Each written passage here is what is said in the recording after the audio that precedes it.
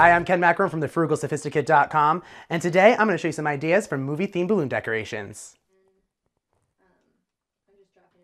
A great party to get all of the kids together and their friends is to throw a movie theme party. Turn your living room into a movie theater, but let's not forget the decorations. It'll make that party that much more fun.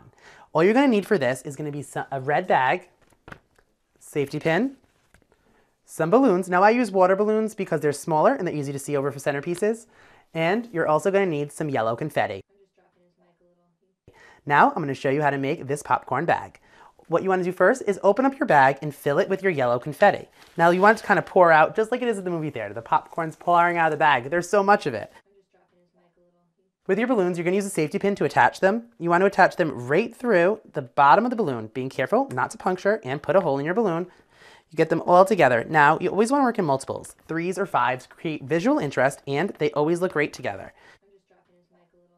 And don't close up your pin yet because we're going to easily just pin them right to the bag.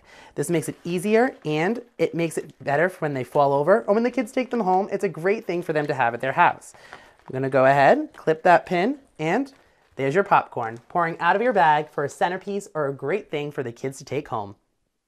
I'm Ken Macaron, and those are some ideas for movie-themed balloon decorations.